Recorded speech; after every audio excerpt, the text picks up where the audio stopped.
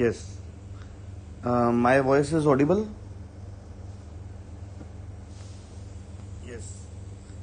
Uh, so, today we are going to study car on unbanked road. But before that, uh, before studying it, uh, we already have uh, studied about uh, this circular motion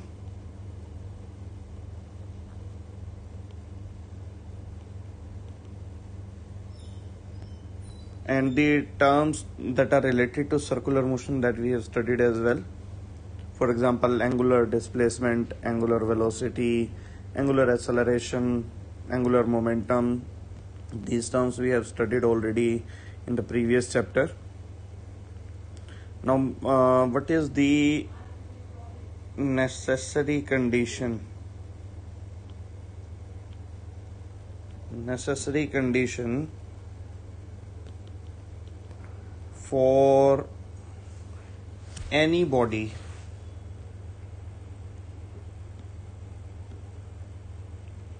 to move in circular motion. कोई बता पाएगा? कि कोई body circle में घूमेगी उसके लिए सबसे ज़रूरी कंडीशन क्या है?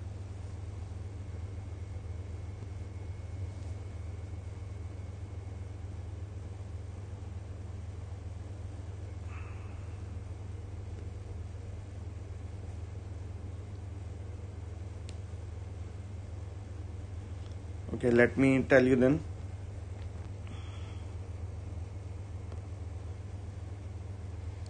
The centripetal and centrifugal forces should be balanced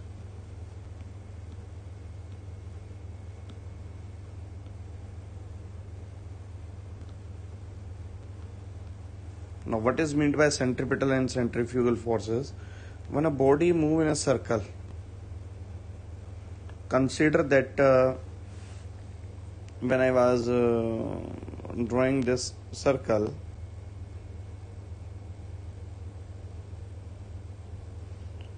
I am actually moving a particle along this path. Okay, I was moving a particle along with this path and uh, every now and then the object that was moving in circle is applying a force toward the center.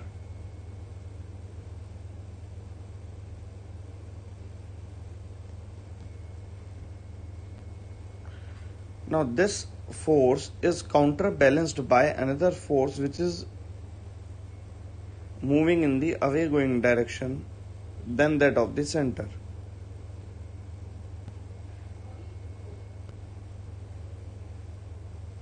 When these two forces are balanced, only then the particle is going to move in the circle.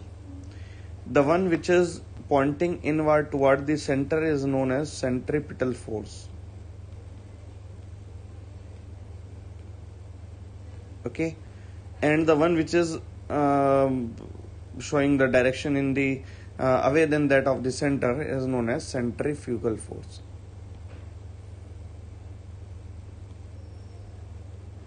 Let us take an example of no, uh, the acceleration is going to be same. If forces are going to be same, the accelerations are going to be same as well. ठीक है अगर forces अगर हम अलग करेंगे तो ही acceleration अलग होगी अदरवाइज़ इनवर्ड और outward acceleration both will be same because F is equal to M F centripetal force is equal to centrifugal force then acceleration are also equal because mass is same of the particle now let us consider an example of uh, uh, a stone attached to a string and then we are moving it in a circular motion through our hand uh, uh, when placed in the upward direction आप अपने head से थोड़ा सा ऊपर ले जाके uh, एक thread के साथ में अपना स्टोन को हैंग कीजिए and then you start revolving it start moving it in a circle the centripetal force is applied by the string which is attached to your hand the force that is applied to the center you can feel that force that tension force which is applied by the string on your hand. And the centrifugal force is applied by the stone the weight of the stone which is acting in the outward direction at every point of time. When these two forces are equal then the stone will move in a circle. If either of the force is going to increase the body is going to move the stone is going to move in the in uh, the increased force direction. For example if the weight of that stone increases then obviously uh, then the tension in the string then the maximum tension it can bear then the stone is going to get detached and uh, will fall away in the outward direction where the force uh, will get um, increased means the centrifugal force. And if the centripetal force is going to increase then that of the centrifugal obviously the stone will try to fall in the inward direction okay so this is what is the necessary condition for a body or a particle to move in a circle that the centripetal has to be equal to centrifugal force. Okay uh, uh, is this understood? Because if this concept is clear then we can move forward and uh, uh, can get to our topic of car on unbanked road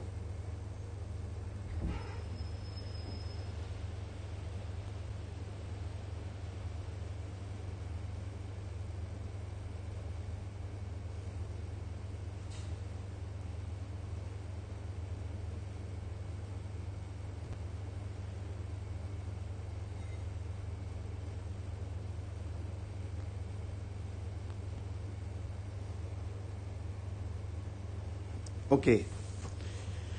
So here is a car and uh, we are trying to move it in a circular track. This is the circular track that I have shown in the diagram. And this car is moving along the road. Okay I'll try to make the the marks over the road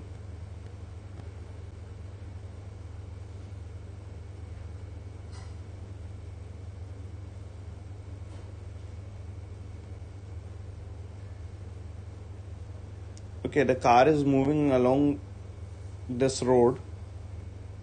This road is a part of a circle big circle having sem- cent- its center somewhere uh, over here.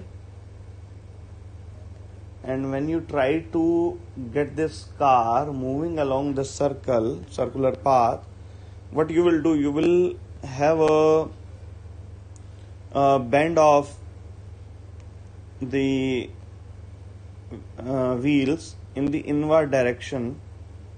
For that you will move your steering toward the center. Okay. While the car is moving you will be pointing your uh, steering toward the center. And the car will tend to move in the outward direction because of inertia of direction the car will tend to move in this direction. Okay and we are moving along the car in this direction that I have uh, recently drawn this in the upward one.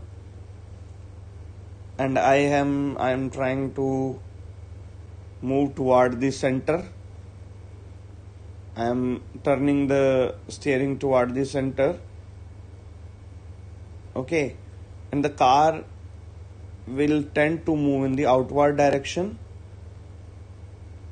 Now when the car will tend to move in the outward direction which force is going to restrict the motion that is not going to allow it to move in the outward direction will be the necessary friction force which will be applied between the tires and the roads in the inward direction.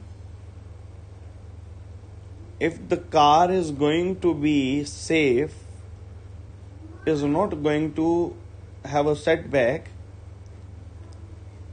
like neither it is going in inward direction is not uh, derailing from the track.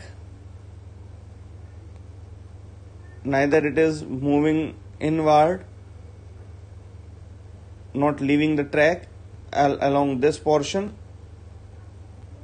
Neither it is being derailed by the track in the away going direction means out of the track in this direction.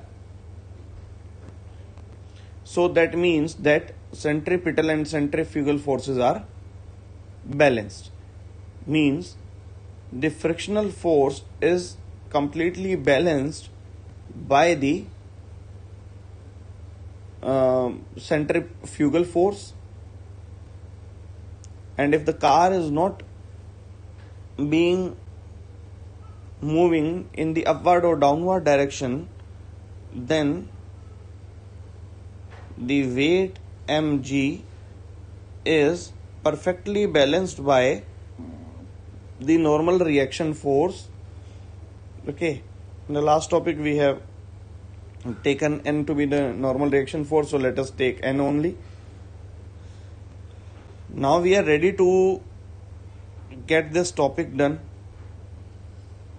The frictional force. Now uh, these forces balance of these forces you are able to understand the frictional force is balanced by the centrifugal force. The weight mg is balanced by the normal reaction force. When these forces are balanced the car is going to move smoothly over this track. Otherwise kya hoga? Now why we are studying it? Because you have seen uh, the signboards alongside the roads 80 kilometer per hour speed limit or 100 kilometer per hour speed limit or in some of the roads 120 kilometer per hour speed limit is there and uh, on some roads 60 kilometer per hour is there as well. So on what basis these speeds are decided? These speeds are decided on the factor only if there is some circular path over that road then what should be the minimum maximum speed sorry what should be the maximum speed that a person can uh, go through that track without having excess of centrifugal force which is going to derail this car from the track. Okay so here we we in this topic we are going to study that only what should be the maximum velocity okay what should be the maximum velocity that can uh, keep this car moving on this track? So for that we have this concept that uh, frictional force F should be balanced by the centrifugal force that is mv square by r. Okay. This we studied as centripetal force.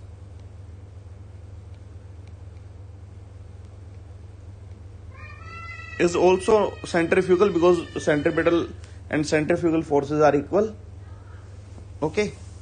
So f is equal to mv square by r. And as a case we also know that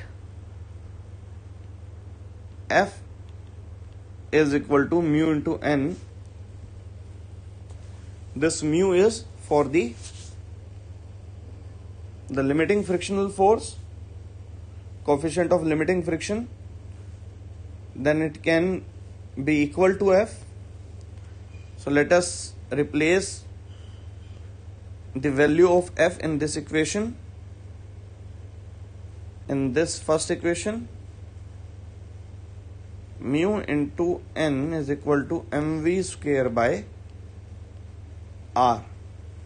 And this n is equal to mg. In this diagram you can see reaction force normal reaction force is balanced by mg. So mu mg equal to mv square by r. M will be cancelled out by m. And we want this value of v will be equal to mu r g. By deciding the values of mu which is uh, thoroughly in our hand and uh, depends upon uh, what kind of surface we offer like there are certain tracks which are uh, cemented. Charcoal roads are there as well there are other options as well. Now nowadays plastic roads are coming too. So on the factor uh, what kind of surface we provide for the road mu will be decided. R the radius of this circular track what is going to be the radius? More the radius be more we can have the velocity with which we can travel the car onto this track and then this value of g which is constant acceleration due to gravity. By having these values we can calculate the value of velocity with which we can travel this uh, travel with on this track.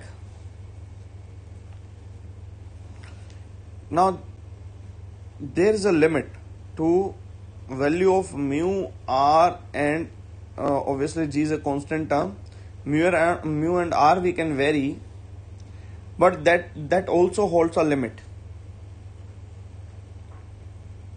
So what we can do is we can include another factor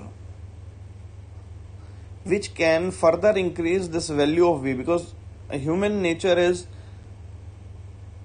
to achieve more and more means we want to reach to our destination much more quickly. And uh, in that case we have to travel with greater speed.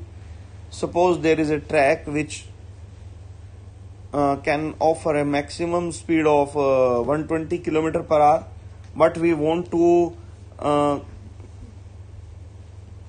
move with 140 kilometer per hour and still at the same time we want to be safe as well then in that case we used to bank the road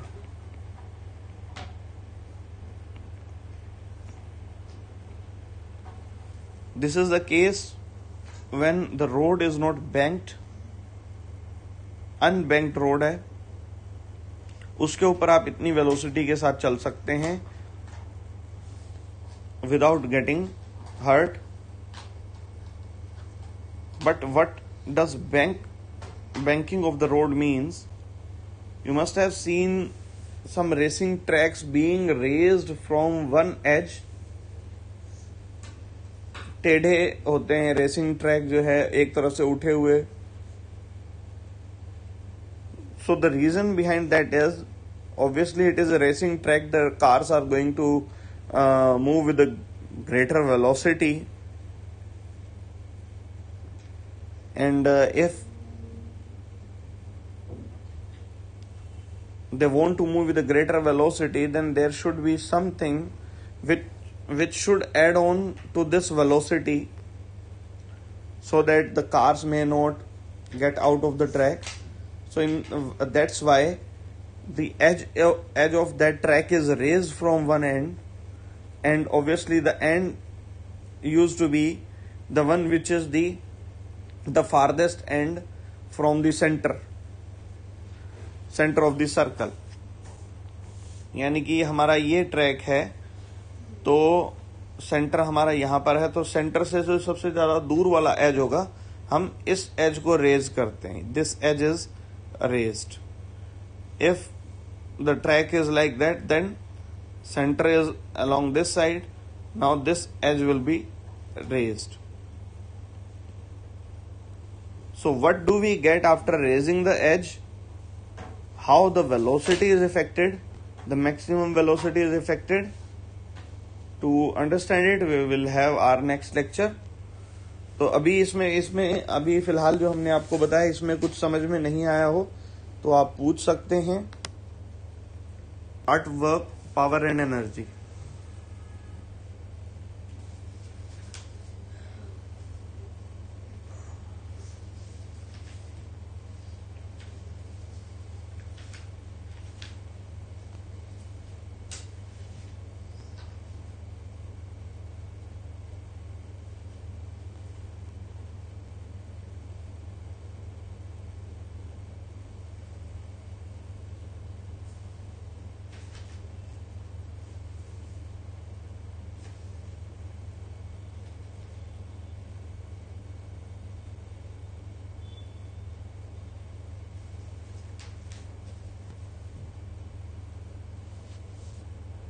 ये बेटा banking of road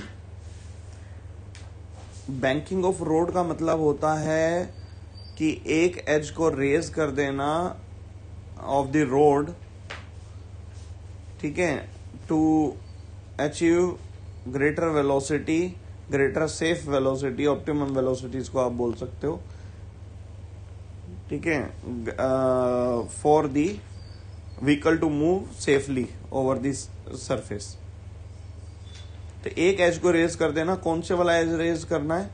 जो आपका farthest end है of the road from the centre जो हमारा ये इसको मैं फ़र्स्ट और सेकंड एज नाम दे देता हूँ रोड का। ठीक है फ़र्स्ट एज जो है ये सेंटर के पास है और सबसे दूर सेकंड वाला है। ठीक है, इसलिए सेकंड वाले को, के एज को रेज कर रहे हैं। इसी तरीके से यहाँ पर ये सेकंड और ये फ़र्स्ट वाला, अब फारदेस्ट कौन सा है? फ़र्स्ट वाला है सेंटर से। ठीक है तो उस वाले एज को रेज करेंगे तो this kind of raising of edge is known as banking of road अब वो बैंकिंग से कैसे वेलोसिटी पे क्या असर पड़ता है, वो हम कल स्टडी करने वाले हैं।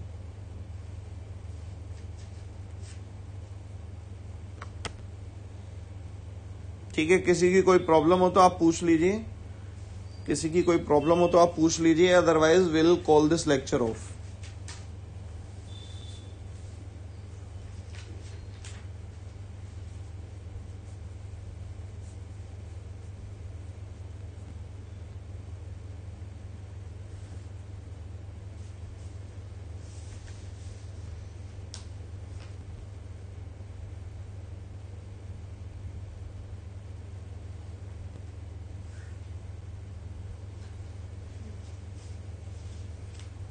okay then meet you tomorrow.